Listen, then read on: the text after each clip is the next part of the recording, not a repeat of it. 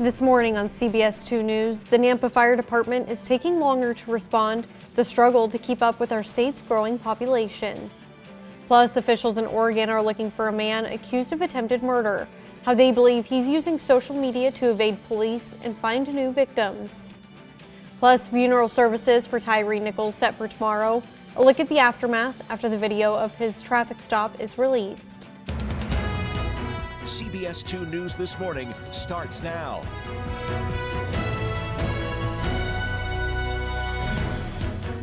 Good morning. Thank you for joining us. This is a live look from downtown Boise on this Tuesday, January 31st, 2023, and it is a cold one. Oh yeah, yeah, that's putting it lightly. Uh, if you experienced, yeah, yesterday you were outside at all, folks, very similar conditions expected once again today. So again, if you're heading out the door this morning, make sure you're layering up. Doesn't matter what you look like as long as you are staying warm. This is a live look from atop the CBS 2 studios this morning. Yeah, it is looking clear out there, folks, but that in turn is what's helping us get even colder as this Arctic air continues to stream out of the northwest. Right now, just 14 degrees. We do have light winds out of the southeast at 10 miles an hour, so that is going to take us down, feeling more like just one degree out there, folks. So again, as we head closer to these early morning hours and the coldest time of the morning, just make sure as you're heading out, you're keeping that in mind. Current temperatures right now, just 9 degrees in Kuna, 14 for us here in Boise, 14 as well for Caldwell.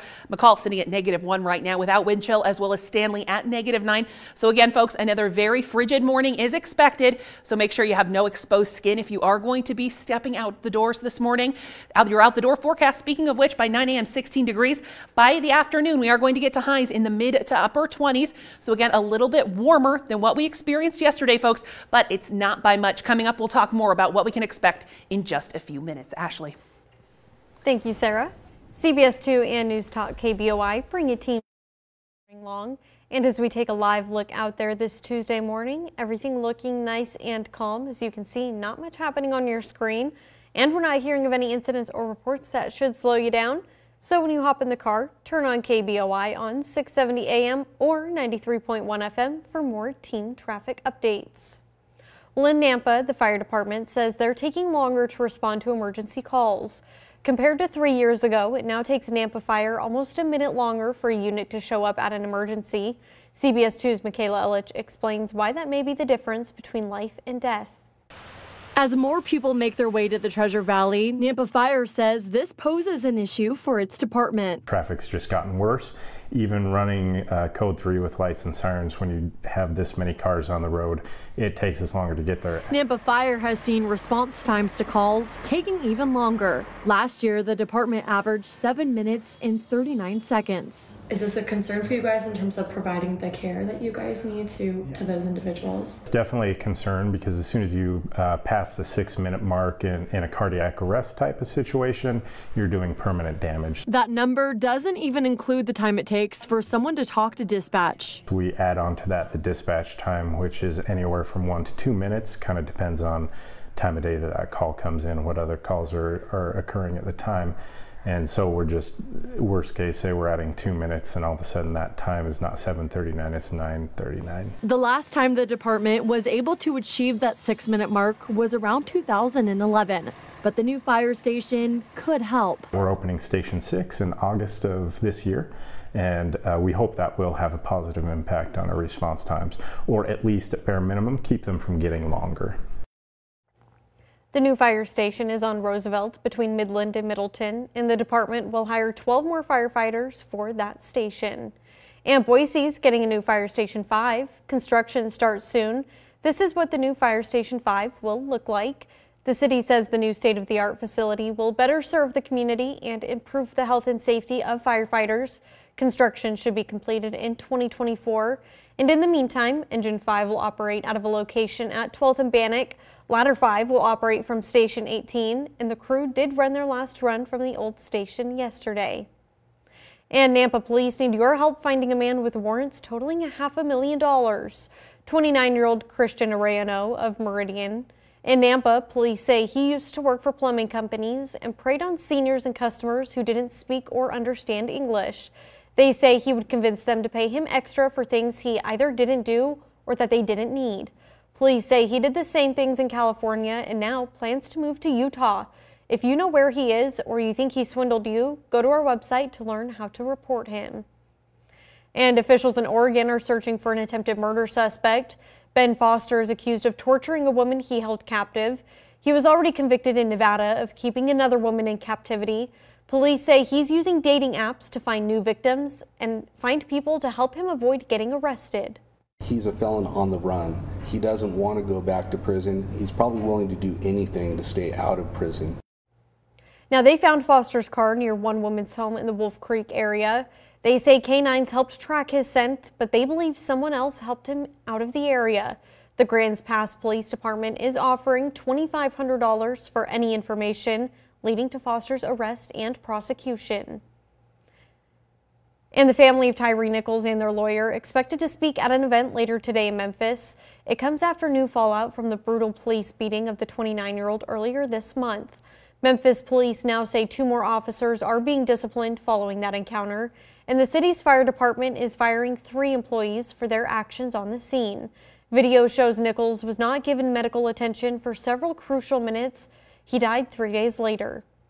Everybody's walking around nonchalantly like it's business as usual. So it should be accountability for everybody on the video. Funeral services for Nichols will be held tomorrow. At the funeral, civil rights activist Reverend Al Sharpton will deliver the eulogy. Four Biden administration officials are expected to attend as well. And next week, the Nichols family will attend the President's State of the Union address as guests of the Congressional Black Caucus. Biden says he will meet with the caucus to talk about police reform. The president says he believes the George Floyd Justice and Policing Act is still the most reasonable legislation to enact. It passed in the House but stalled in the Senate.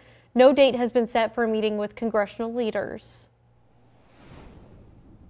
And turning now to coverage at the Capitol, here at the Idaho State House, a bill is trying to remove student IDs as a valid form of identification to vote. Under Representative Tina Lambert's bill, the only forms you could bring to the polls would be an Idaho driver's license or photo ID, a U.S. passport or other federal photo ID, a tribal photo ID, or a license to carry a concealed weapon issued by an Idaho county. It would also remove the option to sign an affidavit if a voter forgets to bring their ID to the polls. The bill needs a public hearing and vote in committee before it can move forward. Also at the State House, a bill that could punish cities that don't uphold state felonies advancing to the Senate floor. House Bill 22 passed the House floor 53 to 13. It states that if a local government entity, such as a police chief, mayor, or city council, does not investigate a felony, local sales and use tax would be withheld. The bill being met with both criticism and praise.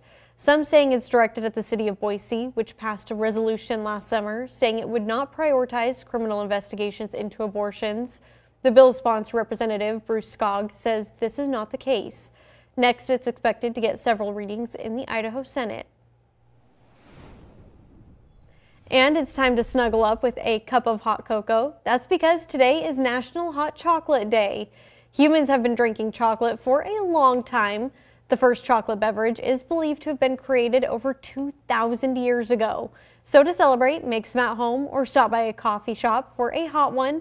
And of course, feel free to top it with whipped cream or marshmallows. Yeah, and you're definitely going to want something warm for your hands this morning. Yes. Yeah, those frigid conditions, Yeah. they are here, folks. Luckily, not here to stay, but we're going to deal with them for the next couple mornings. Okay, but as long as they're not here to stay. Nope. It's cold out there. It's that, you know, weather where you kind of want to run. Oh, yeah, definitely. your- yeah. Yeah, you don't want to be spending time, any prolonged time outside, folks. We know this. Make sure you're bundling up if you have to, folks. Yeah, let's take a live look outside right now. High temperatures for today. Some of our models saying Boise could get up to 36 degrees, folks. Today, we're expecting something in the upper 20s, but at least it's not as cold as our friends in Idaho Falls at just 17 degrees. As you can see, though Fargo up in North Dakota taking the cake with just 13 degrees for their daytime high. This is all because of this Arctic outbreak bringing strong and cold Arctic air out of the northwest into our region. Again, that's why we're seeing temperatures below normal this morning, just 14 degrees in Boise, 12 in Nampa, Ontario sitting at 17. Mountain Home, you're sitting at 9 degrees. McCall at negative 1. We do have winds out of the southeast at about 10 miles an hour, so that is taking us down an additional 5 to 10 degrees for what our feels like temperature is, folks. So again, it is very cold out there, folks. Frigid temperatures today, especially if you're up in the mountains and have to be if you have to be outside at any point, just make sure you are bundling up. We are seeing more cloud cover today, so that will help with some insulation, hence why we're a little warmer today, just by a few degrees than what we experienced yesterday. But like Ashley said, that gradual warm up is heading our way this week, and we are looking at dry conditions continuing, folks. We would like to see some more storm systems, but models showing at least the next you know, three to five days, we are staying clear. So, weather advisory we have a winter weather advisory for our friends on the east side of the state, an air stagnation advisory for us in the Treasure Valley through at least Friday at 1 o'clock. As you can see, it's southeastern Idaho as well as eastern Oregon. Again, inversion season. This is normal for this time of the year, folks, as we don't have any winds helping push out any of that pollution. So, today's forecast again, it is going to be chilly, folks, not expecting to break that 30 degree mark with lots of cloud cover. But again, that warming trend up, up, up, that roller coaster is isn't stopping as we head through winter, folks. The good news, though, we are starting to warm today, looking like the coldest day of the week so far. So, again, folks, if you are heading out this morning, keep in mind winds about 10 miles an hour, so taking us down another 5 to 10 degrees. You just want to make sure that you are adding a jacket, you have your gloves, you have your hat, maybe even a scarf, and especially if you're getting your kids out the door in the morning, just make sure that they are prepared for these very cold temperatures. Yeah, the more bundled up, the better this oh, yeah. morning. It doesn't matter what you look like, yeah. folks, as long as you're warm. You should see us walking to the station in the morning. yeah, no judgment. Thank you, Sarah. CBS 2 and News Talk KBOI bring you team traffic all morning long. And as we take a live look out there this Tuesday morning, as you can see, everything looking nice and calm. Not too many cars out there yet, and not hearing of any incidents or reports that should slow you down. So when you hop in the car and start your day, be sure to turn on KBOI on 670 AM or 93.1 FM for more team traffic updates. Straight ahead on CBS 2 News this morning, winter weather striking Texas this morning, how it's impacting travel on the ground and in the air there this morning. Plus, we'll be seeing a few more weeks of winter or an early spring. A look ahead at Groundhog Day. And it's time now for our question of the day. First, let's take a look at yesterday's question. According to one study, this is the number one pet peeve of dads.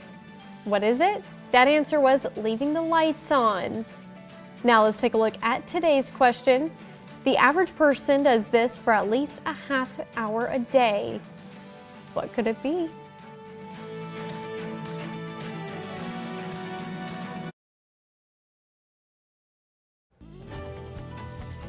It's 514. Welcome back, folks. Today, for our friends in Caldwell, we are looking at a high of 24 degrees, mostly cloudy skies overnight. Tonight, just 13 degrees as that cloud cover hangs on for your Wednesday with a high of 29 degrees. Thank you, Sarah. Well, Texas is, is preparing for winter weather. Freezing rain is creating dangerous conditions in some parts of the state. The National Weather Service has a winter storm warning in effect for a large part of Texas until Thursday morning. A spokesperson with the city of Austin says she wants drivers to keep safety top of mind as wintry conditions can lead to slick roads. Make sure that you're traveling at a reasonable rate of speed. This is not the time to go flying down the highway when there's ice over the road. Um, that's only going to cause trouble. Crews working overnight to get the roads ready for this morning. Of course, officials say if you can avoid traveling, it's best to just stay home. And the winter weather also impacting air travel. More than 1,600 flights are canceled because of winter storms. The Dallas Fort Worth International Airport has the most cancellations right now. According to FlightAware, that includes more than 280 flights for people leaving from DFW and more than 260 cancellations for arrivals. Customers should check with their airline about their flight status before they head to the airport. And the winter weather comes just one week after Texas is hit by devastating tornadoes. The community in Deer Park still processing the destruction left behind. One local roller rink says it could have been worse. If it would have happened on a Saturday afternoon, it'd been bad. It's a cinder block wall that was, I don't know, 14 foot tall and 180 feet long and it's gone. The owner of Skate World says the building was thankfully pretty empty when the tornado passed. Now work is underway to prepare the now destroyed building. And taking a look in Nevada now, cold temperatures making for icy commuting, condi commuting conditions. Drivers encountering snow piles and ice on the roads. In Reno, it's been the coldest it's been since 2013.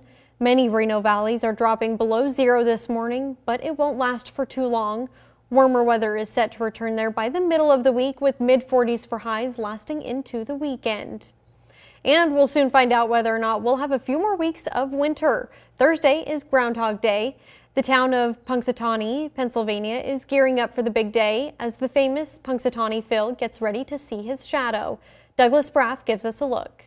It's almost feels time to shine, but it's also the time to shine for local businesses here in Punxsutawney. Well, we have 6,000 people that live here, and it swells to 20 or 30,000, so that you can just imagine the impact that it has on our, our economy here. And this year, the expectations are quite high. I feel everything's sold out. Um, the tickets are all, they're all sold out everywhere. The hotels are all booked around us. All in the hopes of showing off that small town charm. Just want everyone to come and see what a great little town we have, and um, maybe someone will move here, start a business here. For this family that moved here in August, they tell me Punxsutawney's charm has been a whole new world. The kids go to school here now, and um, we didn't move too far, only like 45 minutes, but Punxsy's different than other towns. uh, we kind of like a groundhog a lot. And why move to Punxsutawney? Well, it's a story as old as time. Uh, an inner circle member. you know, yeah. fell in love with somebody who wears a top hat on Groundhog Day, and he kind of likes it, so I like it too. They say Punxsutawney has a lot of quirks, but also a strong civic bond. Because here, everybody knows everybody in this town, so somehow you're all connected and you're all just friends without even knowing it. And even if old Phil sees a shadow on Thursday, the town will be filled with warmth. I just want warm weather. But we still love them no matter what. I don't know about that. I'm just kidding. we all know Sarah is hoping that winter ends quickly. Yeah, I'm definitely not shy about that. There's no doubt. But folks, the good news, it's looking like sunny skies for Groundhog's Day. So we okay. will see what Punxsutawney Phil has to say. Oh, yeah. Sarah will be anxiously awaiting to see if spring will be here soon. Yeah, my fingers are crossed, guys, so we will see. But for now, of course, we are in the dead of winter yeah, you can feel it if you're stepping outside. Starting off our day, folks, we are a few degrees warmer than what we were yesterday. But, folks, it's just the teens. We are looking at just 14 degrees by 6 a.m., by 7 a.m., 15 degrees, and by 8 a.m., just 14 degrees. So, again, it is going to be another chilly morning, folks, that we are seeing just a few degrees warming from yesterday. But a look outside this morning, we are seeing that high level cloud cover continuing to stream in out of the northwest, taking that cold Arctic air into the inland northwest. So, folks, temperatures today, again, looking in the teens across the Treasure Valley. Nine degrees in Mountain Home, negative eight for our friends in Sun Valley, as well as negative nine in Stanley, negative one for our friends up in McCall. So your morning temperatures, they are going to be warming, but very slowly. So by 8 a.m., 15, by 9 a.m., 16, then by 11 a.m., we're getting into the 20s. Today highs, again, folks, only expected to reach the mid to upper 20s. So it is expected to be another very cold day. This Arctic air continuing to stream in out of the northwest. We can see it actually right here with this cloud deck up near the panhandle of Idaho, continuing to move into the region. That's what's continuing to keep us cold today, as well as streaming in that heavy cloud cover. But what we're seeing as far as storm systems, not much, folks. That's because high pressure is continuing off the coast, and that in turn is what's helping block any storms that would move in and, of course, bring us some of that fresh snow. We'll talk a little more about snowpack as well coming up within the hour. So we're looking at northwesterly flow continuing to push through with that cloud cover. Again, it's going to be very dense, that cloud deck. A chance of just a spotty snow shower over the afternoon. We'll see some clearing in that cloud cover into Wednesday, folks, as we see some warming. But of course, still not looking at any storm systems on the horizon, at least until the weekend. So 27 for your Tuesday, Wednesday, partly cloudy skies, 32 by Thursday, 36 degrees, Groundhog's Day. And then we finally start to see some warming, folks. And by that, we mean just getting back to near normal for this winter. Let's take a look for our friends up in the mountains because they are also experiencing those frigid conditions.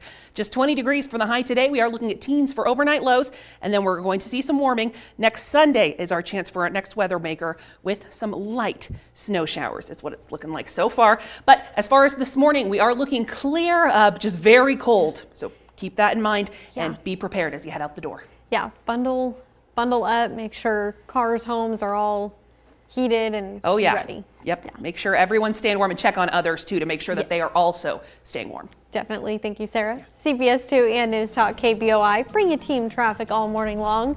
It is we take a live look out there. As you can see, everything's still looking nice and calm at 522 this Tuesday morning. Not hearing of anything that should slow you down. So when you hop in the car, be sure you turn on KBOI on 670 AM or 93.1 FM for more team traffic updates.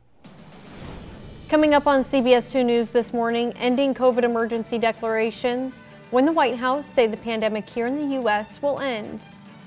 Plus, the impact the pandemic has had on our kids, what one study says schools should do to make up for lost learning.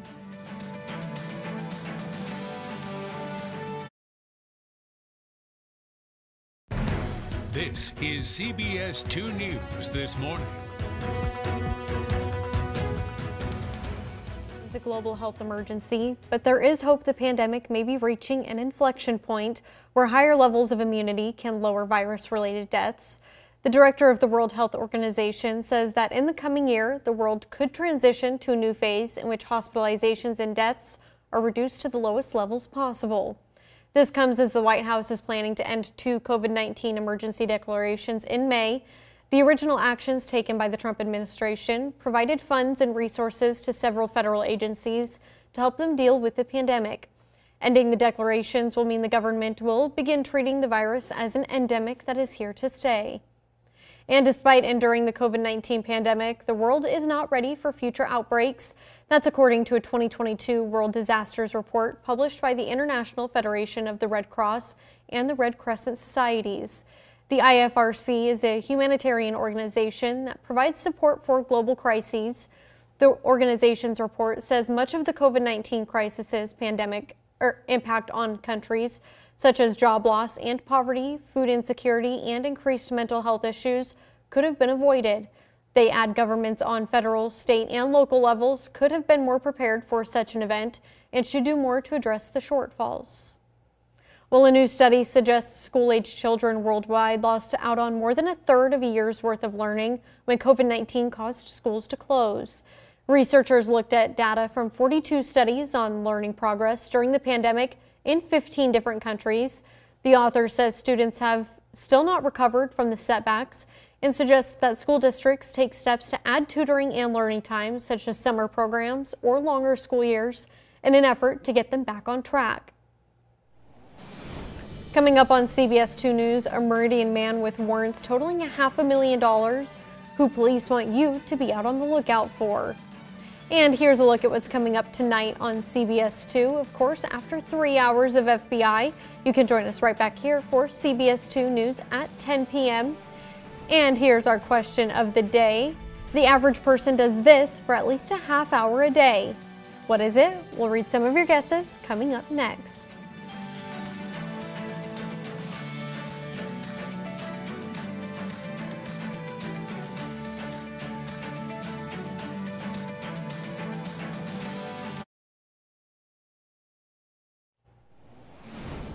This morning on CBS 2 News, the Nampa Fire Department is taking longer to respond the struggle to keep up with our state's growing population. Plus, officials in Oregon are looking for a man accused of attempted murder, how they believe he's using social media to evade police and find new victims. Plus, funeral services for Tyre Nichols set for tomorrow. A look at the aftermath after the video of his traffic stop is released. CBS 2 News This Morning starts now.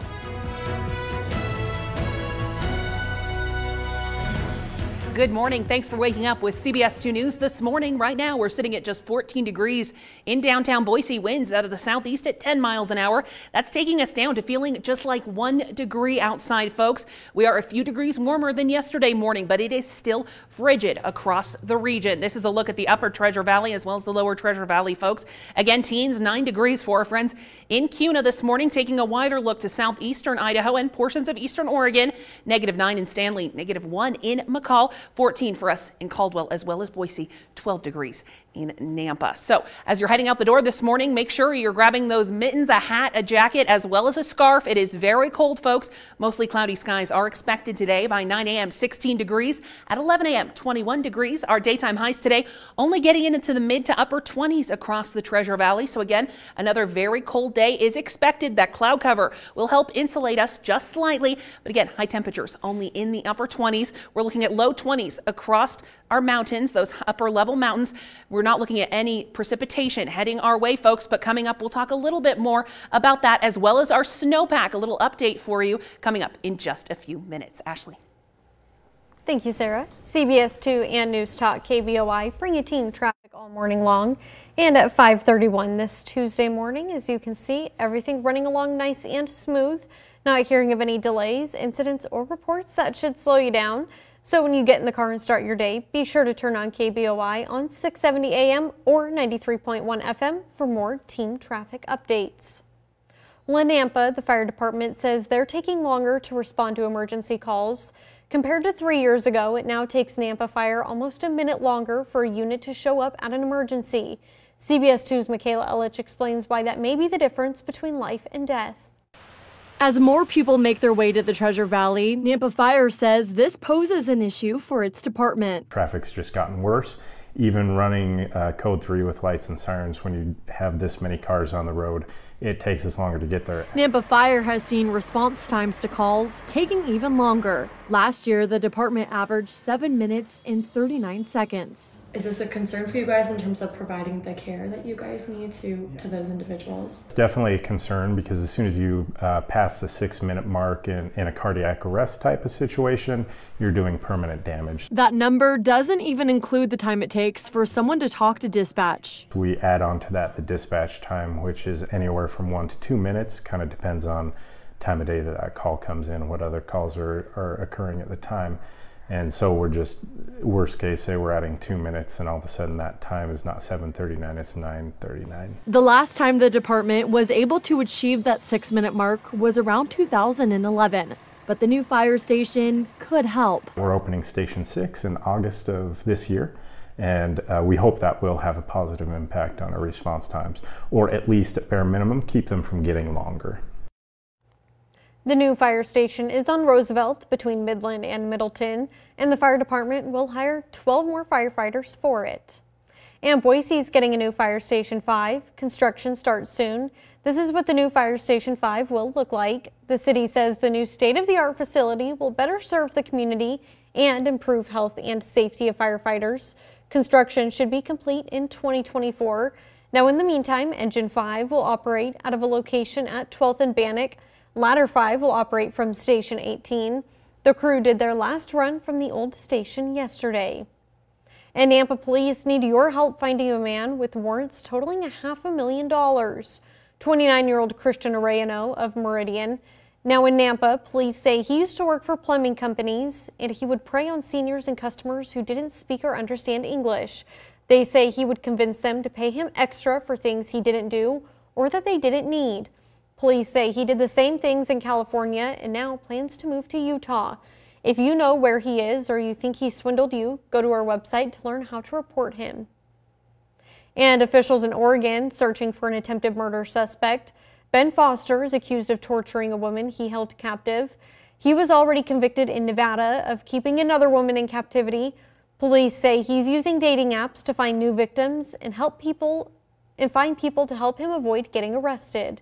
He's a felon on the run. He doesn't want to go back to prison. He's probably willing to do anything to stay out of prison. They found Foster's car near one woman's house in the Wolf Creek area. They say canines helped track his scent, but they believe someone else helped him out of the area. The Grants Pass Police Department is offering $2,500 for any information leading to Foster's arrest and prosecution. And turning now to developing news, the family of Tyre Nichols and their lawyer expected to speak at an event later today in Memphis. It comes after new fallout from the brutal police beating of the 29-year-old earlier this month.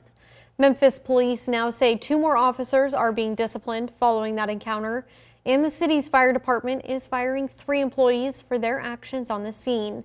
Video shows Nichols wasn't given medical attention for several crucial minutes. He then died three days later. Everybody's walking around nonchalantly like it's business as usual. So it should be accountability for everybody on the video. Funeral services will be held for Nichols tomorrow. At the funeral, civil rights activist Reverend Al Sharpton will deliver the eulogy. Four Biden administration officials are expected to attend as well.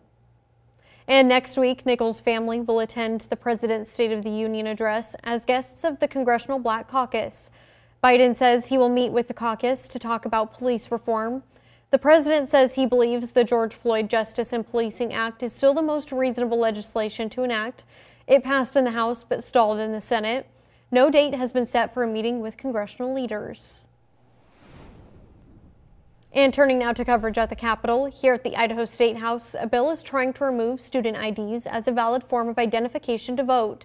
Under Representative Tina Lambert's bill, the only forms you could bring to the polls would be an Idaho driver's license or photo ID, a U.S. passport or other federal photo ID, a tribal photo ID, or a license to carry a concealed weapon issued by an Idaho county. It would also remove the option to sign an affidavit if a voter forgets to bring their ID to the polls. The bill needs a public hearing and vote in committee before it can move forward. And also at the State House, a bill that could punish cities that don't uphold state felonies advancing to the Senate floor. House Bill 22 passed the House floor 53 to 13. It states that if a local government entity, such as a police chief, mayor, or city council, does not investigate a felony, felony local sales and use tax could be withheld the bill being met with both criticism and praise, some saying it's directed at the city of Boise, which passed a resolution last summer saying it would not prioritize criminal investigations into abortions. The bill's sponsor, Representative Bruce Skaug, says this is not the case. Next, it's expected to get several readings in the Idaho Senate. And it's time. It's time to snuggle up with a cup of cocoa. That's because today is National Hot Chocolate Day. Humans have been drinking chocolate for a long time.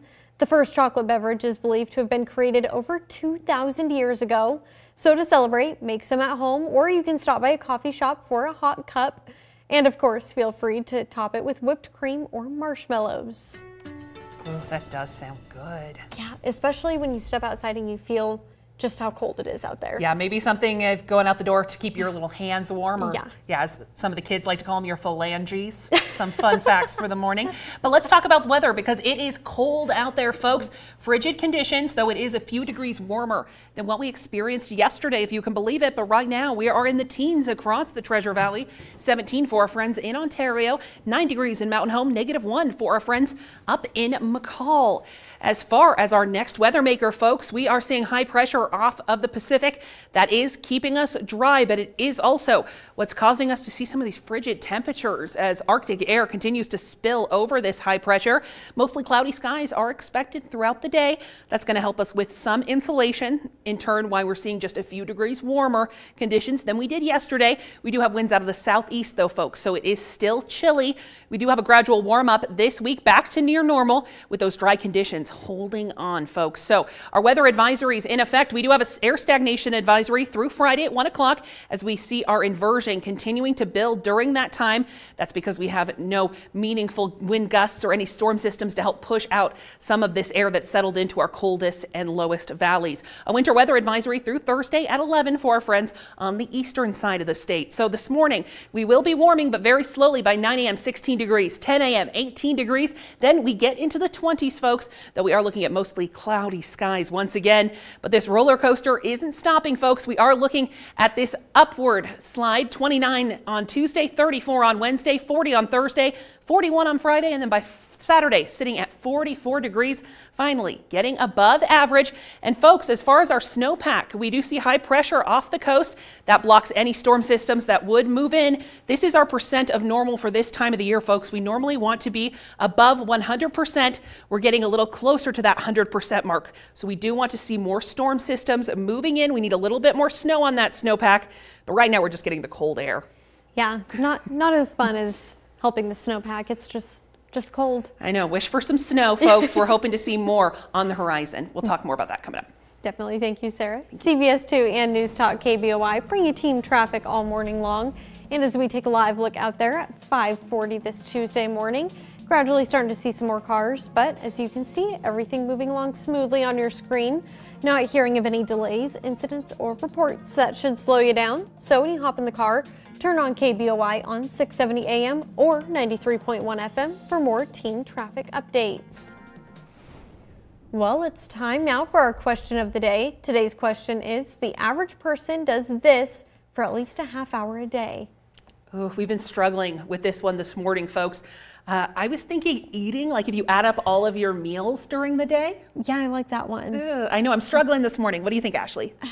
My best guess as of right now, maybe cleaning up after yourself. Ooh, I like You know, that. as you're cooking, cleaning up, after you get ready, you clean. I enjoy the average person doing that cooking and the cleaning. See, I don't like the cleaning portion. Yeah. okay, Lacey says cooking dinner, cooks dinner. Oh, I like that one. Yeah, it takes some time. Yeah. Especially if you're me. All right, Kathy says driving or drives. Your That was- commute, possibly? Yeah, that was one that crossed my mind this morning. Maybe if you add up Yeah. your commutes through the day. Yeah, you know, even the little the little five minute drive can Yeah. add up over time. Steven says sitting in the bathroom. Thank you, Steven, for keeping that PG. We appreciate it this morning. But yeah, gonna say that that yeah potentially would make sense. Yeah, if you add up throughout the day, 30 minutes. Again, folks, if you think you know the answer, Yeah, share your guesses on our Facebook page or our Twitter. We'll read some of your guesses throughout the morning and reveal the answer at the end of the show, right before CBS This Morning. Coming up on CBS 2 News this morning, the future of the global economy may be doing better than expected. How much global growth is expected to fall?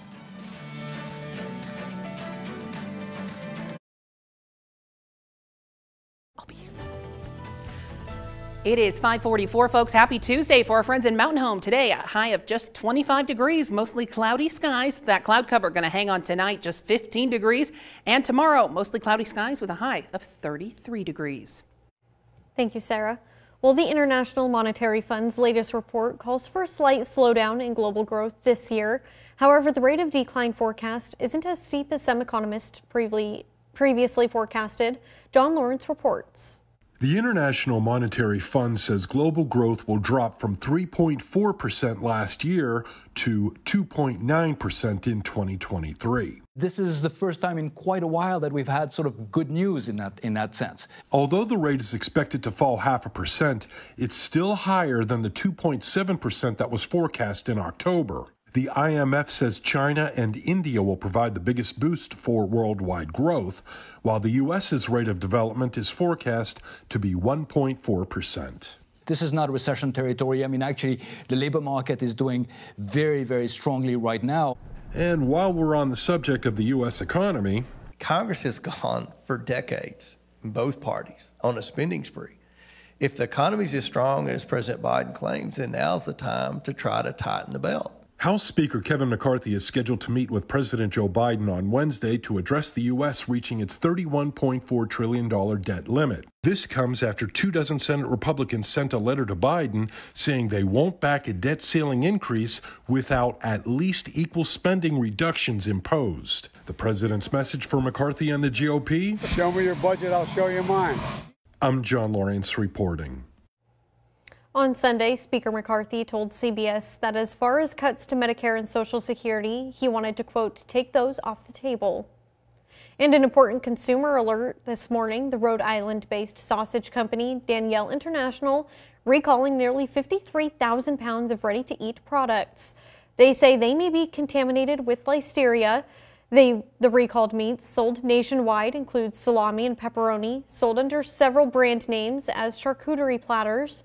So far, no one has reported getting sick. All right, let's switch gears, talk weather, folks, because yeah, another frigid morning is here. Yeah, definitely one of those mornings where you bundle up, but you're still running from your house to your car. exactly, you're running as fast as you can. Yeah, you are definitely feeling those temperatures out there this morning, folks, and you want to make sure, yeah, as Ashley said, bundle it on up. It does not matter what you look like. No judgment out there this morning. We are just trying to keep warm, folks.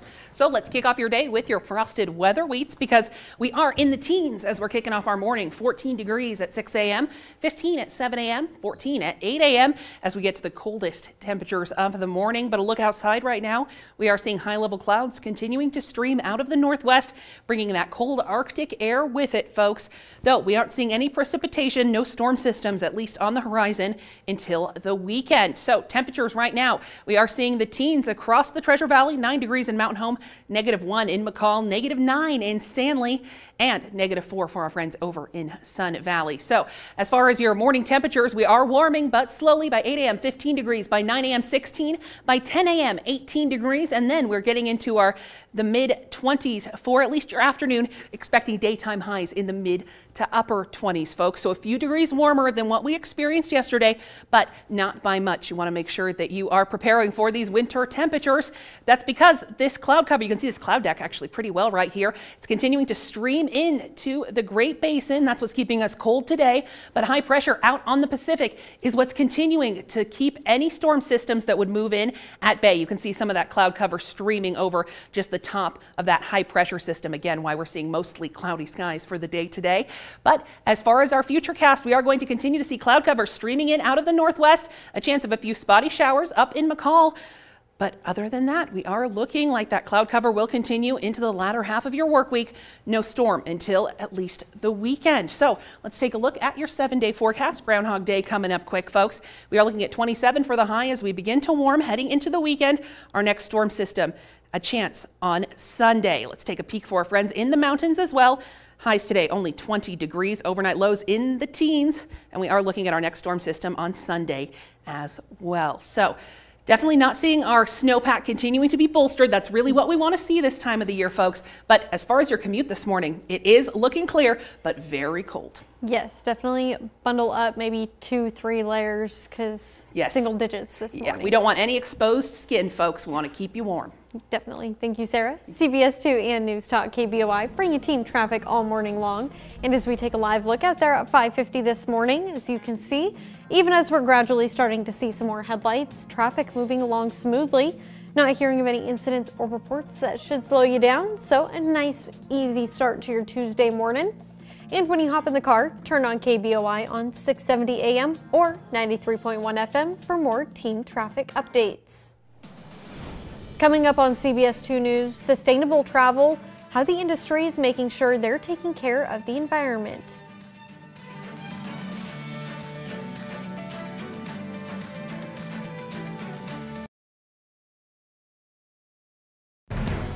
This is CBS 2 News this morning. Well, sustainability is a hot topic right now in the travel world.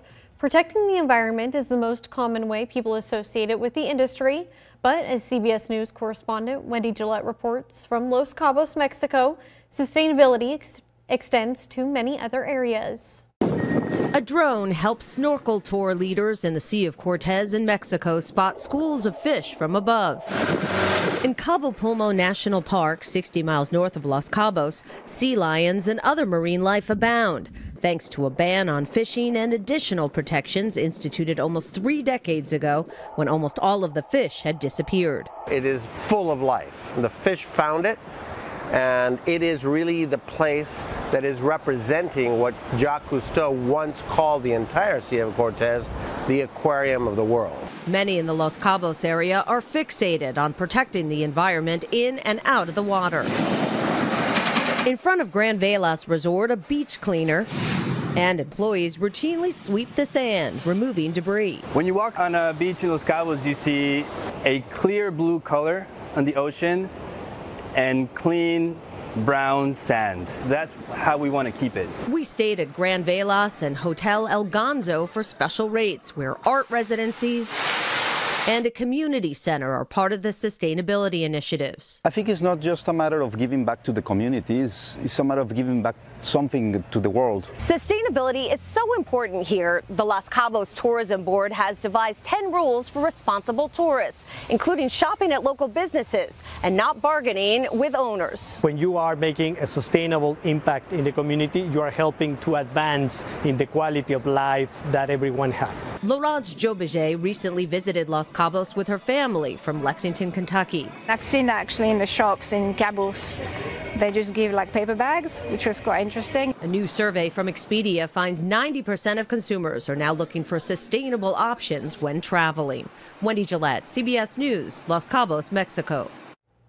A few other sustainability rules for tourists include managing your waste, learning to protect and respecting the community's customs, and taking photos rather than removing anything from its natural environment.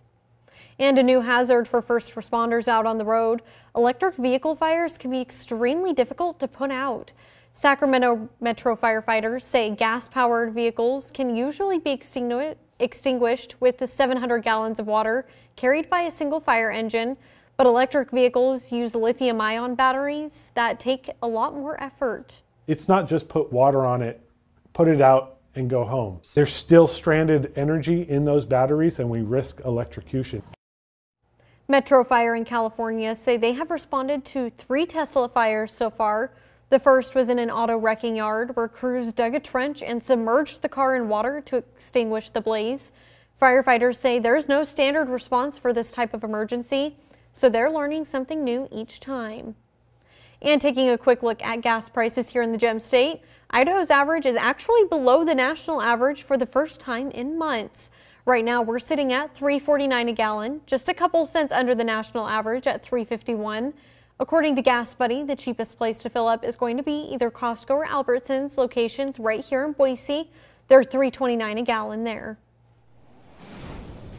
Coming up on CBS 2 News this morning, a Meridian man with warrants totaling half a million dollars who police want you to be out on the lookout for. Plus, will we be seeing a few more weeks of winter or an early spring? A look ahead at Groundhog Day. You're watching CBS 2 News this morning. Your local news and weather continue all day on idahonews.com. We'll be back with all of your top stories at the top of the hour.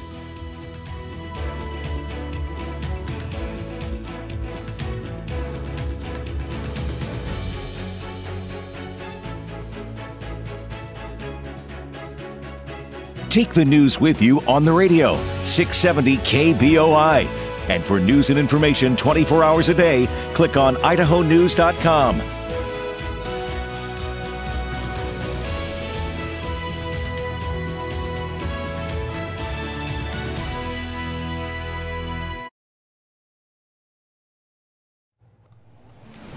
This morning on CBS 2 News, the Nampa Fire Department is taking longer to respond the struggle to keep up with our state's growing population. Plus, officials in Oregon looking for a man accused of attempted murder, how they believe he's using social media to evade police and find new victims. And funeral services for Tyre Nichols set for tomorrow. Look at the aftermath after the video of his tragic traffic stop is released. CBS 2 News This Morning starts now.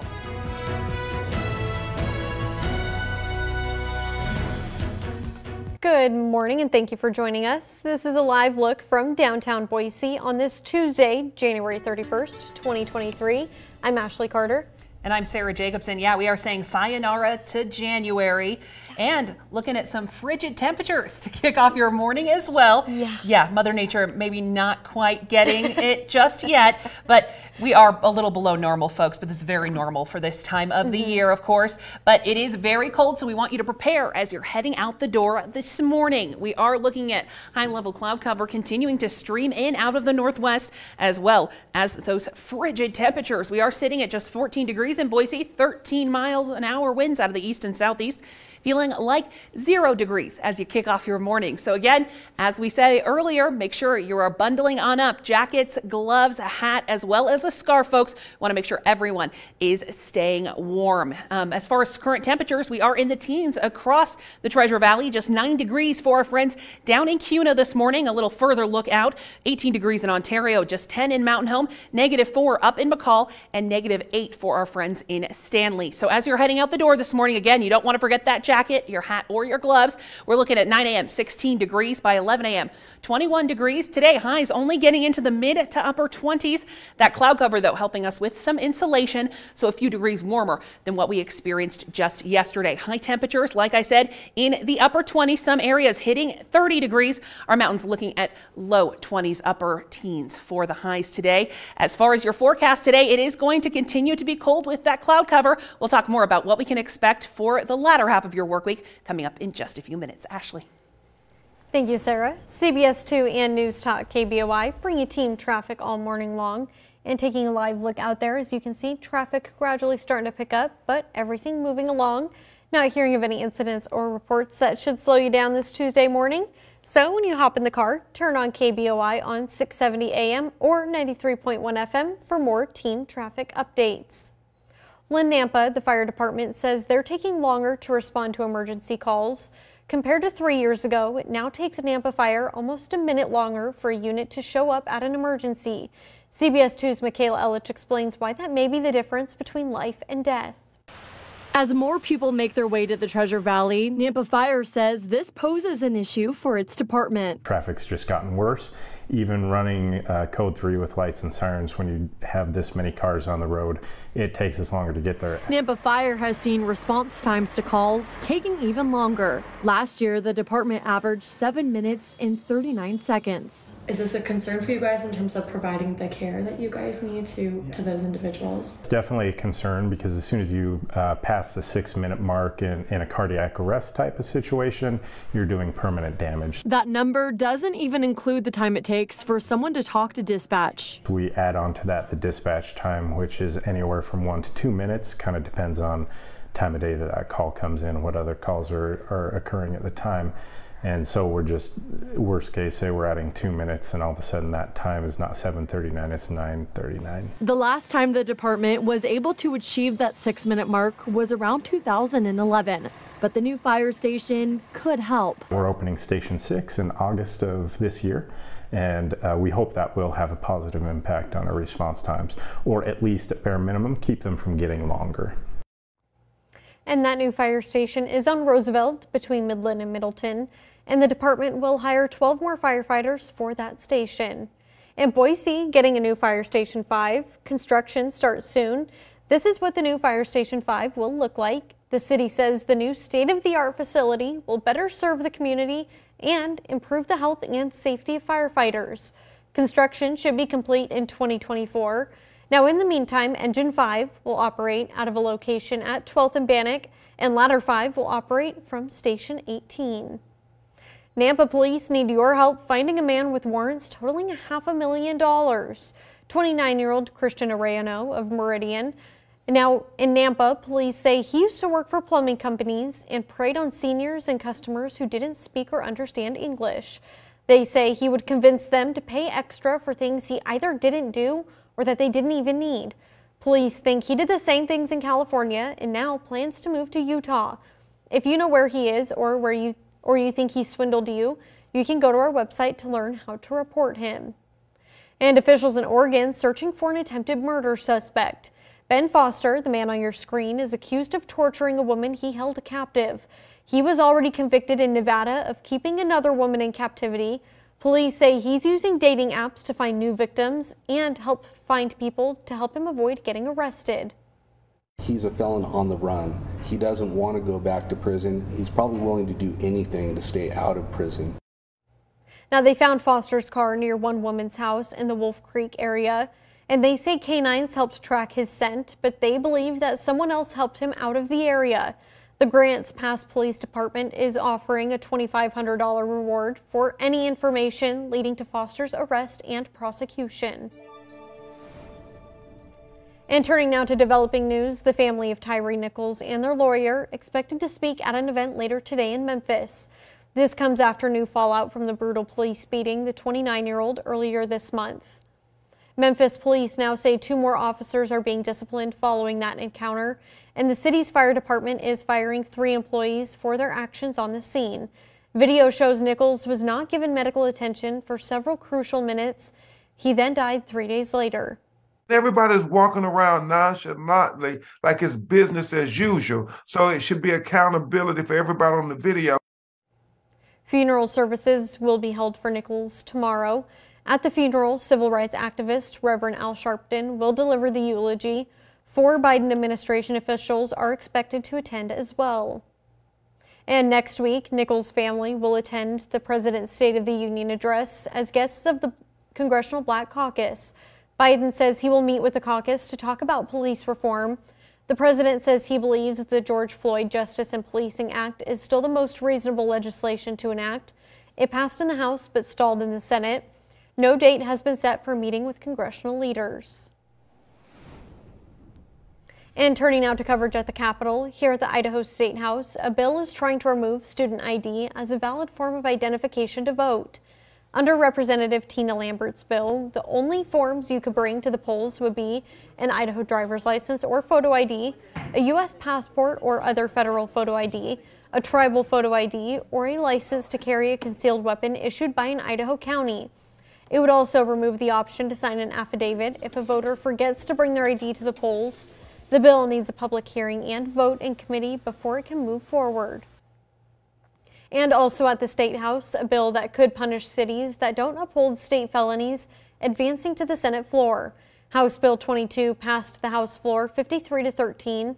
It states if a local government entity, such as a police chief, mayor, or city council, does not investigate a felony, local sales and use tax could be withheld. The bill being met with both criticism and praise. Some saying it's directed at the city of Boise, which passed a resolution last summer saying it would not prioritize criminal investigations into abortions. The bill's sponsor, Representative Bruce Skaug, says this is not the case. Next, it's expected to get several readings in the Idaho Senate. And it's time to snuggle up with a cup of cocoa. That's because today is National Hot Chocolate Day. Humans have been drinking chocolate for a long time. In fact, the first chocolate beverage is believed to have been created over 2,000 years ago. So to celebrate, make some at home or you can stop by a coffee shop for a hot cup. And of course, feel free to top it with whipped cream or marshmallows.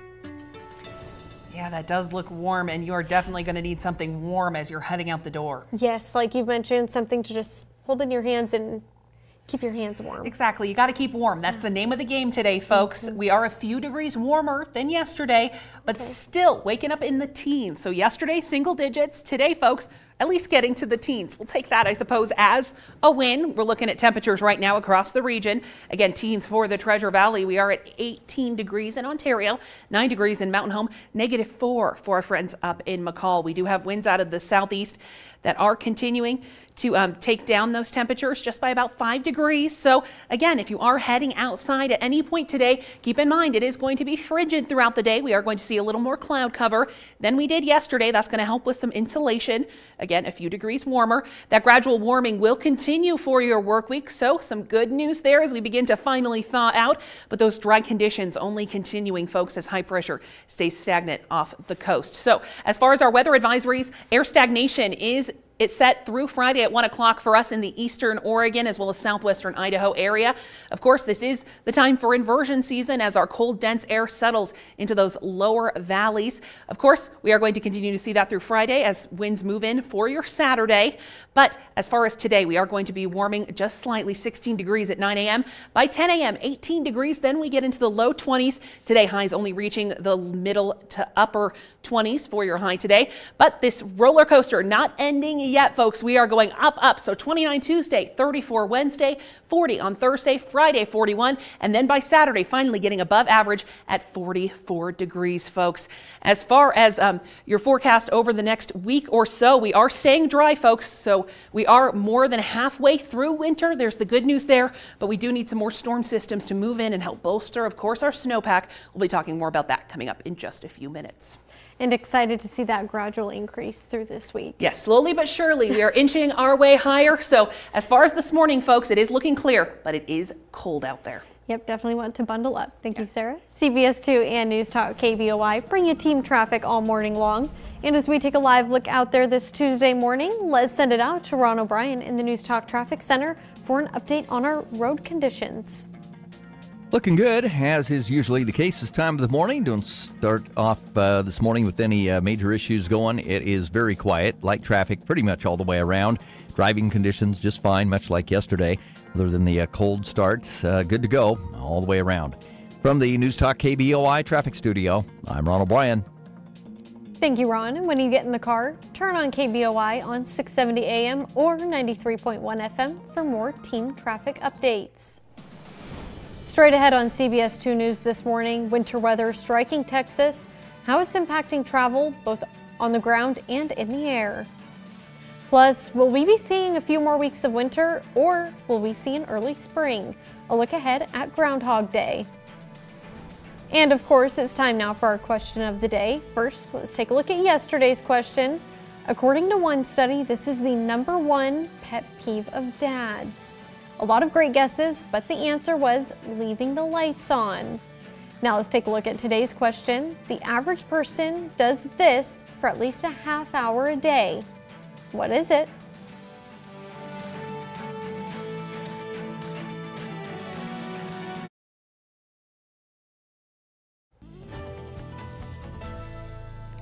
It's 6:15. Welcome back. Caldwell today a high of 24 degrees, mostly cloudy skies. That cloud cover hanging on tonight.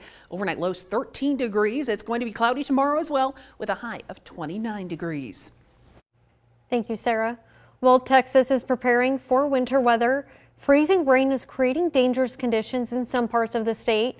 The National Weather Service has a winter storm warning in effect for a large part of Texas until Thursday morning.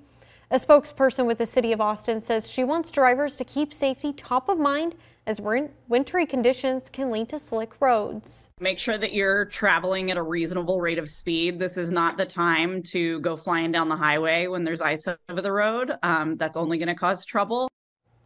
Crews working overnight to get the roads ready for this morning. And of course, officials say if you can avoid traveling, it's best to just stay home. And the winter weather also impacting air travel. More than 1,600 flights are canceled because of winter storms. The Dallas Fort Worth International Airport has the most cancellations right now. According to FlightAware, that includes more than 280 flights for people leaving from Dallas Fort Worth and more than 260 cancellations for arrivals. Customers should check with their airline about their flight status before they head to the airport. And the winter weather comes just one week after Texas is hit by devastating tornadoes. The community in Deer Park still processing the destruction left behind. One local roller rink says there could have been much more, much worse. If it would have happened on a Saturday afternoon, it'd been bad. It's a cinder block wall that was, I don't know, 14 foot tall and 180 feet long and it's gone. The owner of Skate World says the building was thankfully pretty empty when the tornado passed. Now work is underway to prepare the now destroyed building. And we'll soon find out whether or not we'll have a few more weeks of winter. Thursday is Groundhog Day. The town of Punks Punxsutawney, Pennsylvania is gearing up for the big day as the famous Punxsutawney Phil gets ready to see his shadow. Douglas Braff gives us a look.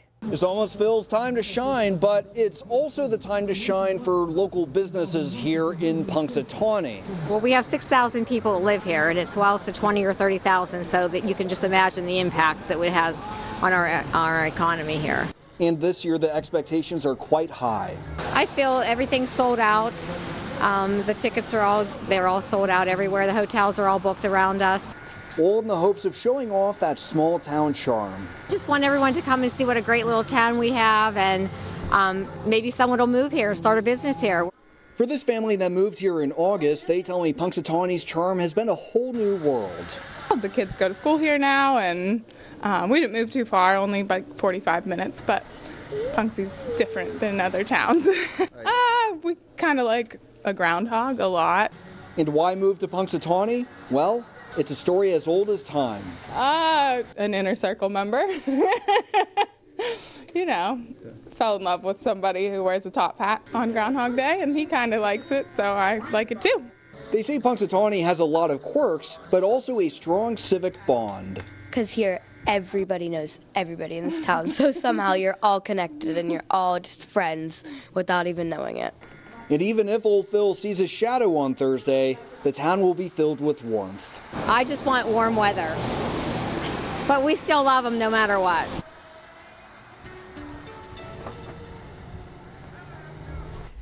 And uh, with Sorry, flying in here, folks. Sorry, checking some extra models out there this mm-hmm. morning, and it's looking very cold. Yeah. Sitting in the teens right now, folks, only getting to the mid to upper 20s once again today. But the good news, that's a few degrees uh, warmer than Yeah. what it was yesterday, Ashley. So the good news, we are going to continue to warm slowly but surely. Let's start off your day with your frosted weather wheats because those teens hanging on for the coldest parts of our morning by 6 a.m., 14 degrees by 7 a.m., 16 degrees, and by 8 a.m., looking at 15 degrees. Partly cloudy skies out there as we are seeing some high level clouds continuing to stream in, but it is deceivingly cold out there, folks. Very similar to what we experienced yesterday. Temperatures right now in the teens for the Treasure Valley. We are in the negatives, negative eight in Stanley, negative four for our friends in McCall. Nine degrees for our friends in Mountain Home. And keep in mind, we do have wind moving through that's taking us down a good five to 10 degrees. So again, this isn't even feels like temperature. It's feeling closer to about 10 degrees in Boise. So our morning temperature slowly but surely will be warming by 8 a.m. 15 degrees, by 9 a.m. 16, getting into the low 20s by the time we hit noon. But today, highs only getting to the mid to upper 20s, folks. So again, it is going to be a cold winter day. We have just 48 days until we officially hit spring. So, folks, we're getting there. We just got to hold on and get through some of the coldest parts. So, we are going to continue to see this cloud deck moving in um, out of the northwest. That's what's keeping us nice and cold with that Arctic air. Off the Pacific, though, high pressure is over the region. That's what's blocking any storms that would move into our region. And that's what we really need to be seeing right now, folks. Our snowpack continuing to dwindle, though we are still above average for our snowpack this time of the year. That's the good news. But as far as today, we are going to continue to see high level clouds streaming in with mostly cloudy skies. A chance of a light snow shower for our friends in the McCall area. No accumulations expected, but that cloud cover is only going to hang on. Let's take a look at that seven day forecast for you. Today, highs 27 degrees. Overnight lows will be in the teens for the next couple of days, so still going to stay cold, folks. We are going to see some sunshine for Groundhog's Day, and then our next storm system potentially on Sunday. Our friends up in the mountains looking at that same pattern. It's going to continue to stay cold, some sunshine for Groundhog's Day, and then that next weather maker coming in for us on Sunday. Excited to see those 40s back on the board after the last couple days. Definitely. We'll see if we can keep them there, but for now, at least we are seeing that slow warming trend. Yes, good to see you. Thank you, Sarah. CBS 2 and News Talk KBOI bring you team traffic all morning long. And as we take a live look out there, let's check in with Ron O'Brien in the News Talk Traffic Center for an update this morning. Still doing great. It's a very quiet start. Speed's decent. It's 84. Yet to get uh, much of any buildup going, even through Meridian. That may begin to change up here before much longer. If you're getting ready to get out the door, we usually get a little rush between uh, this time of the morning and 7 and then 7 o'clock hours when it uh, really busies up. Closure as of yesterday, in case you missed it, Franklin Boulevard and the Nampa stretch closed between Cherry Lane and Ustick for a while. Construction going on there. That's the uh, latest closure in that area. From the News Talk KBOI traffic studio, I'm Ron O'Brien. Thank you, Ron. And when you hop in the car and start your day, be sure to turn on KBOI on 670 AM or 93.1 FM for even more team traffic updates. Coming up on CBS 2 News this morning, ending COVID emergency declarations when the White House say the pandemic here in the U.S. will end. Plus, the impact the pandemic has had on our kids, what one study says schools should do to make up for lost learning.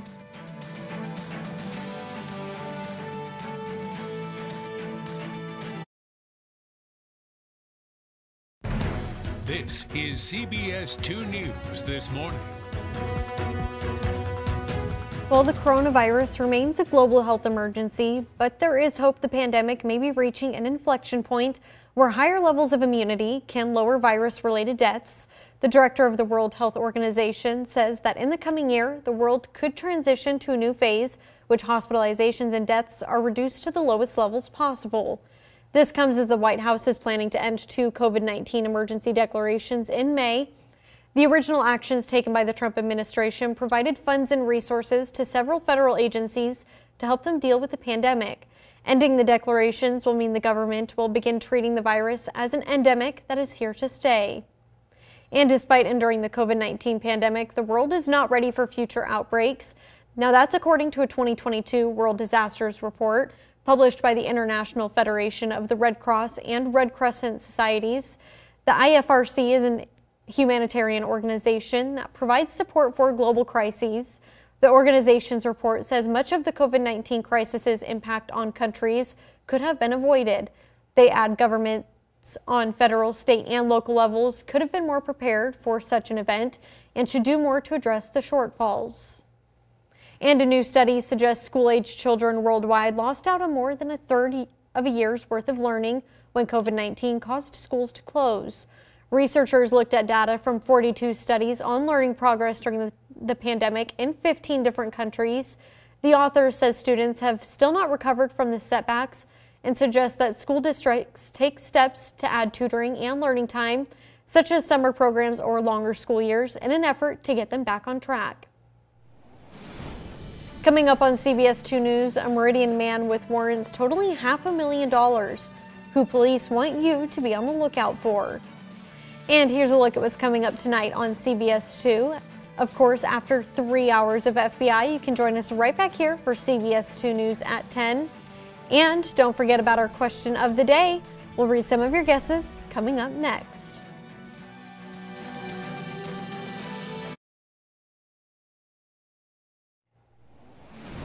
This morning on CBS 2 News, the Nampa Fire Department taking longer to respond, the struggle to keep up with our state's growing population. Plus, officials in Oregon looking for a man accused of attempted murder, how they believe he's using social media to evade police and find new victims. And funeral services for Tyre Nichols set for tomorrow. A look at the aftermath after the video of his traffic stop is released. CBS 2 News This Morning starts now. Good morning, folks. Thanks for waking up with CBS 2 News. This morning, we are sitting at 14 degrees right now in Boise. Winds out of the east southeast at 13 miles an hour, taking us to a feels like temperature of zero degrees, folks. It is very cold out there this morning.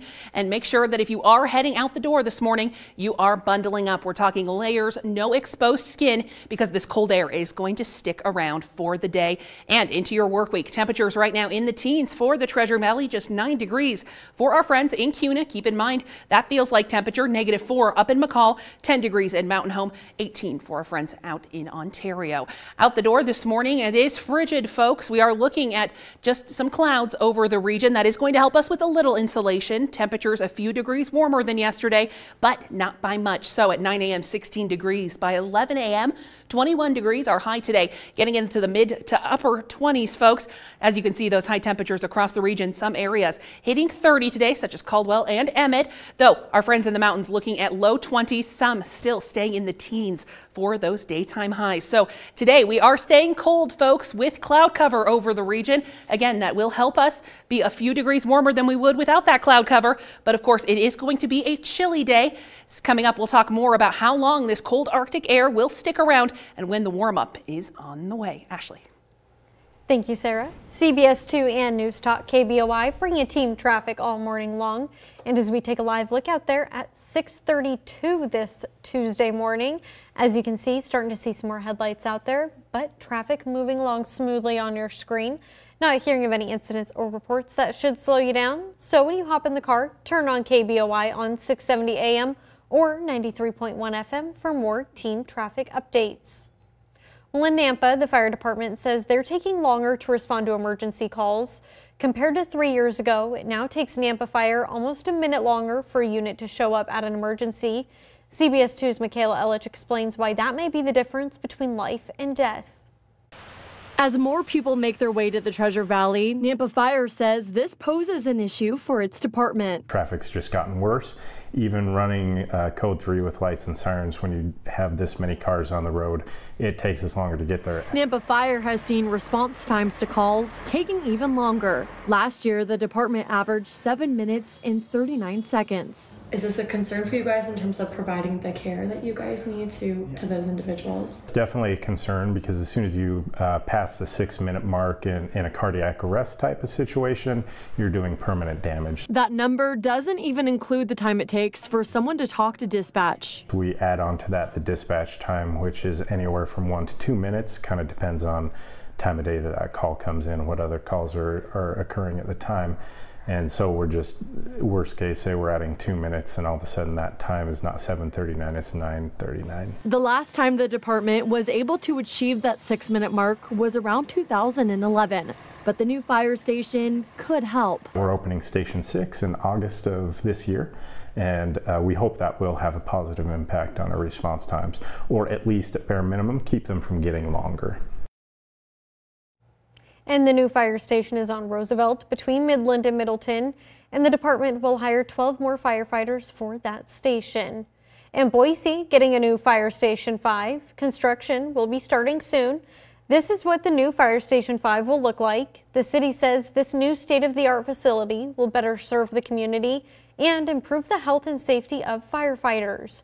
Construction should be complete in 2024. Now, in the meantime, Engine 5 will operate out of a location at 12th and Bannock. Ladder 5 will operate from Station 18. And Nampa police need your help finding a man with warrants totaling a half a million dollars. 29-year-old Christian Arellano of Meridian now in Nampa, police say he used to work for plumbing companies and preyed on seniors and customers who didn't speak or understand English. They say he would convince them to pay extra for things he either didn't do or that they didn't even need. Police think he did the same things in California and now plans to move to Utah.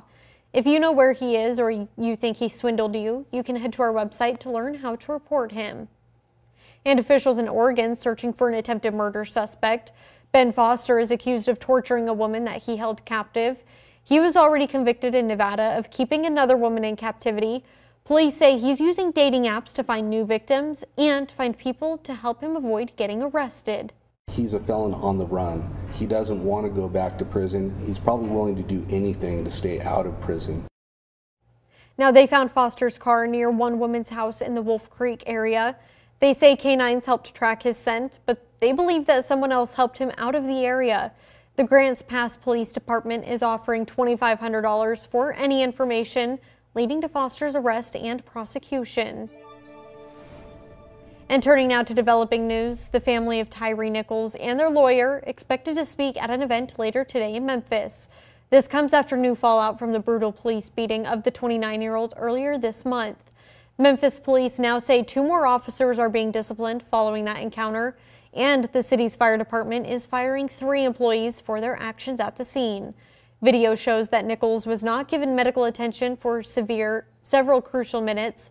He then died three days later. Everybody's walking around nonchalantly like it's business as usual. So it should be accountability for everybody on the video. Funeral services for Nichols will be held tomorrow. At the funeral, civil rights activist Reverend Al Sharpton will deliver the eulogy.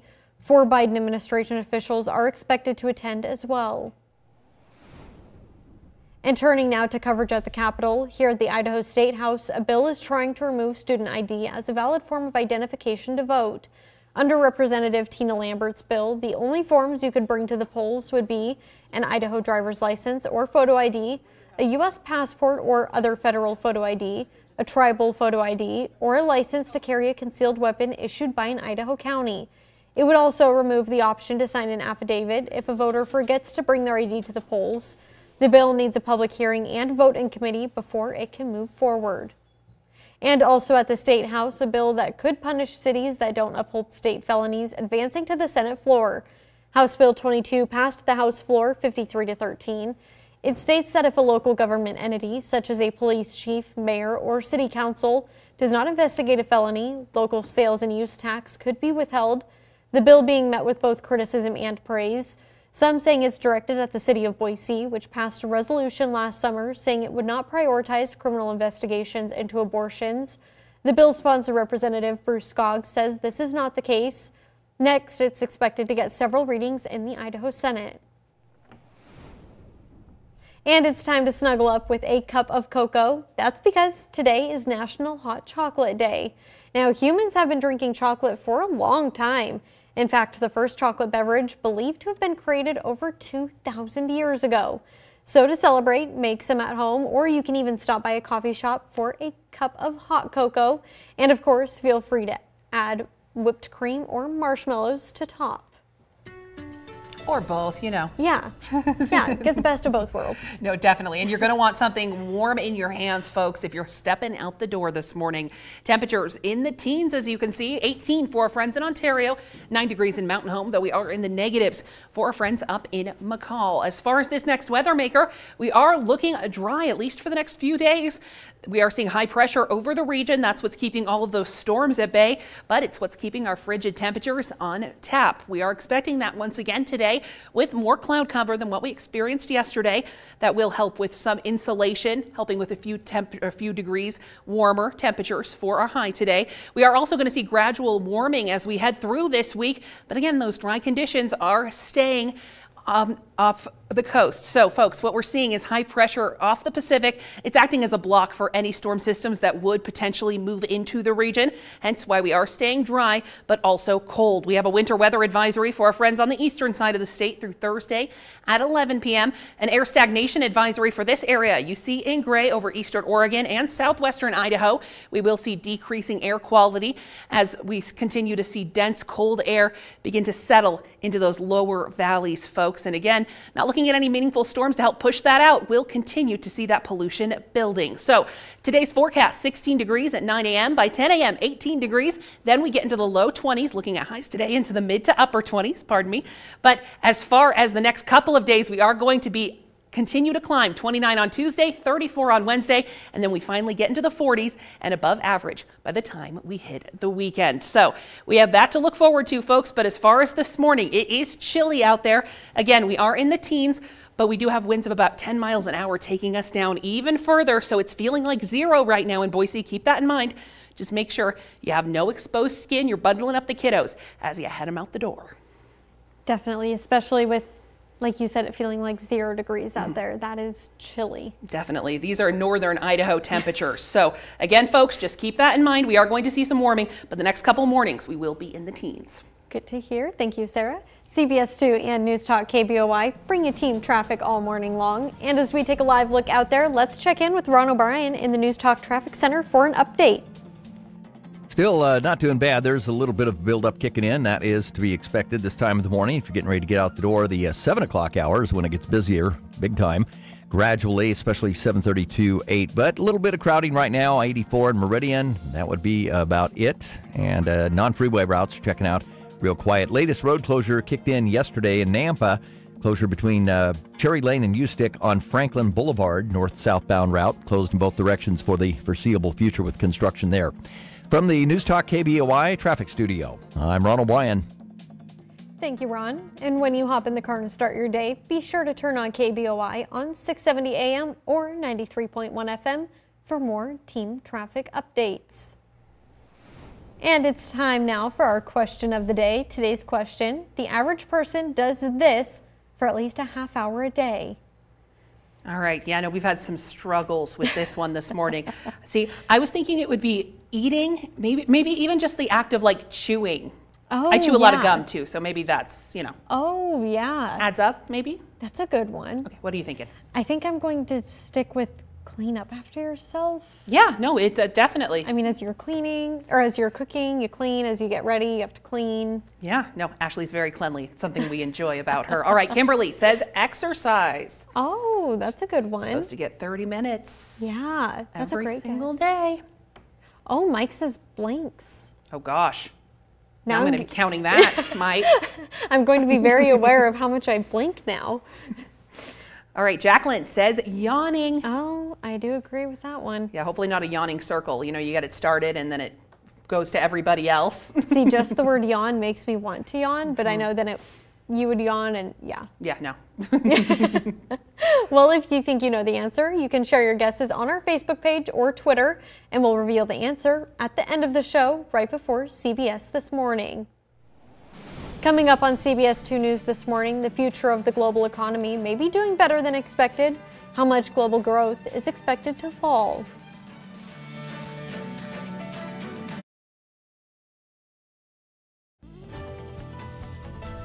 It's 645. Welcome back. Mountain Home today. Highs only reaching the mid 20s, mostly cloudy skies. That's going to hang on tonight.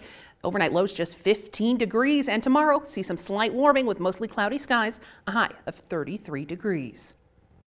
Thank you, Sarah.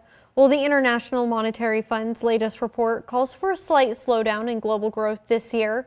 However, the rate of decline forecast isn't as steep as some economists previously forecasted. John Lawrence reports. The International Monetary Fund says global growth will drop from 3.4% last year to 2.9% in 2023. This is the first time in quite a while that we've had sort of good news in that in that sense. Although the rate is expected to fall half a percent, it's still higher than the 2.7% that was forecast in October. The IMF says China and India will provide the biggest boost for worldwide growth, while the U.S.'s rate of development is forecast to be 1.4%. This is not recession territory. I mean, actually, the labor market is doing very, very strongly right now. And while we're on the subject of the U.S. economy, Congress has gone for decades, both parties, on a spending spree. If the economy is as strong as President Biden claims, then now's the time to try to tighten the belt. House Speaker Kevin McCarthy is scheduled to meet with President Joe Biden on Wednesday to address the U.S. reaching its $31.4 trillion debt limit. This comes after two dozen Senate Republicans sent a letter to Biden saying they won't back a debt ceiling increase without at least equal spending reductions imposed. The president's message for McCarthy and the GOP Show me your budget, I'll show you mine. I'm John Lawrence reporting. And an important consumer alert this morning the Rhode Island based sausage company Daniele International recalling nearly 53,000 pounds of ready to eat products. They say they may be contaminated with listeria. The recalled meats sold nationwide include salami and pepperoni, sold under several brand names as charcuterie platters. So far, luckily, no one has reported getting sick. All right, let's talk weather, folks, because another frigid morning is on tap. Yeah, but are these frigid mornings going to stick around as the week goes on? Well, we are going to be in the teens for the next couple of mornings, but then after that, we finally see some warming. We're going to break out of the teens. But starting your day today, folks, yeah, it is going to be cold. Make sure you are bundling up or getting the kids bundled as you're heading them out the door for the morning. 6 a.m., 14 degrees, 7 a.m., 16 degrees, and by 8 a.m., just 15 degrees. We are looking at increasing cloud cover today. And a look outside this morning, we aren't seeing any precipitation on the horizon, folks. We are staying dry, but it is brutally cold out there. Temperatures negative four for our friends in McCall, just 14 in Boise, 13 in Caldwell, Nampa, sitting at 12 degrees. Mountain Home at 9 degrees, though Twin Falls is sitting at negative two. So today it is going to remain cold in the teens at least through the early morning hours, 15 at 8 a.m. By 9 a.m., 16. By 10 a.m., 18. Then we finally break into the 20s. Today highs only reaching the mid to upper 20s. So again, another cold day out there, folks. It's all because of this right here moving into our region, this cold Arctic air continuing to be pulled down from northern Canada. But as far as any storm systems, we are seeing high pressure off the coast. Normally we'd be seeing storms moving out of the Gulf of Alaska into the region.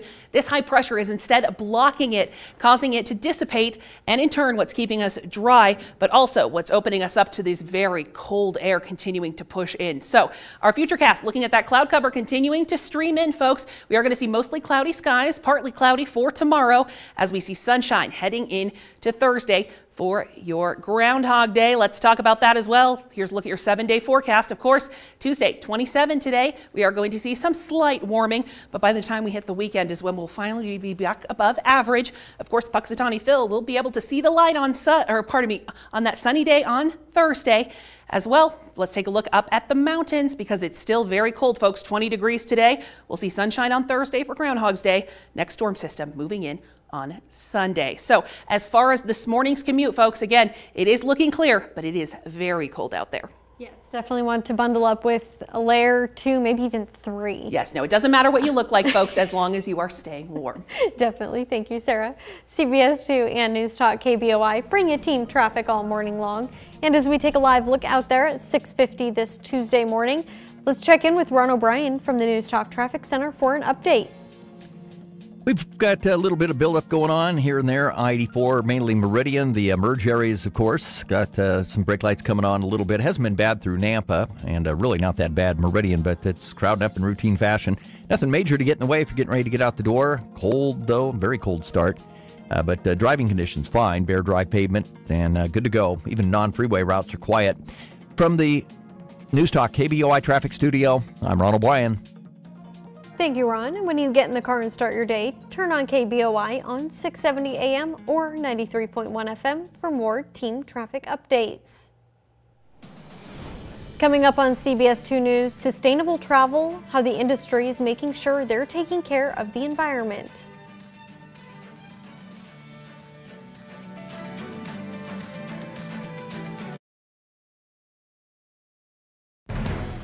This is CBS 2 News This Morning. Sustainability is a hot topic right now in the travel world. Protecting the environment is the most common way that people associate it with the industry. But as CBS News correspondent Wendy Gillette reports from Los Cabos, Mexico, sustainability extends to many other areas. A drone helps snorkel tour leaders in the Sea of Cortez in Mexico spot schools of fish from above. In Cabo Pulmo National Park, 60 miles north of Los Cabos, sea lions and other marine life abound.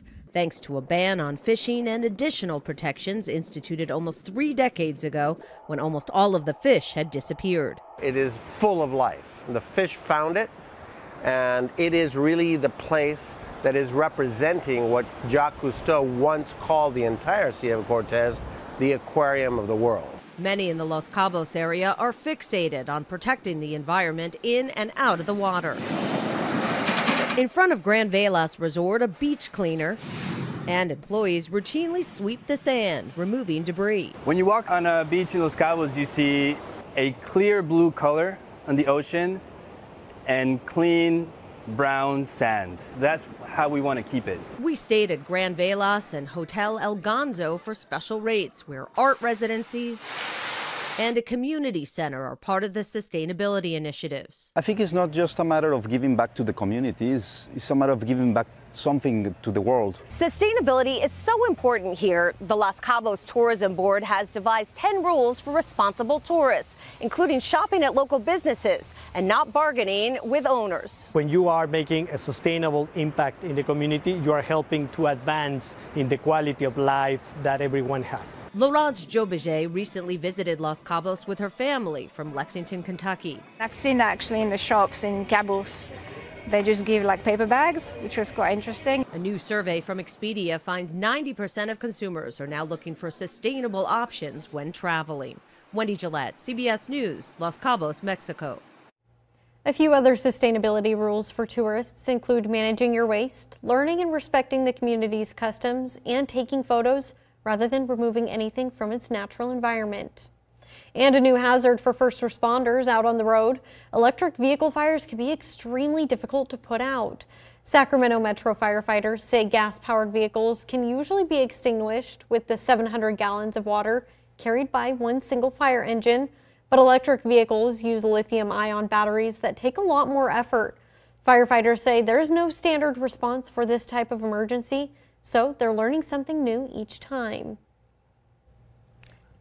Well, it's time now for our question of the day. All right, that question. The average person does this for at least a half an hour a day. What is it? Well, that answer, Sarah got it right. You chew for a half hour a day on average. Oh, gosh. That's good to know, I suppose, folks. All right. Well, thank you for joining us. We'll see you right back here at 11 a.m.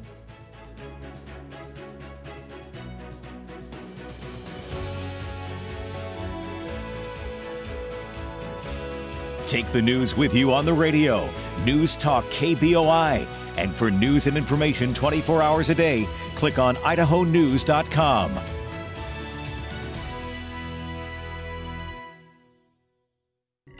CBS Mornings is coming up next. And watch for your next local newscast on CBS 2 today at 11. Connect with CBS 2 for local news and weather on idahonews.com.